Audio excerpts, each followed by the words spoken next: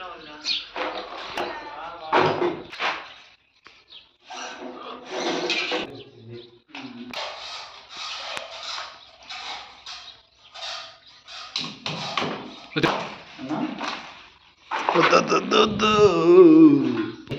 ఒక గంట అలా చేసుకుంటే మళ్ళీ వస్తుంది లాగా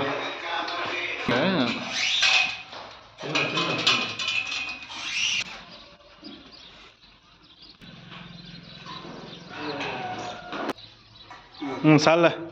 了，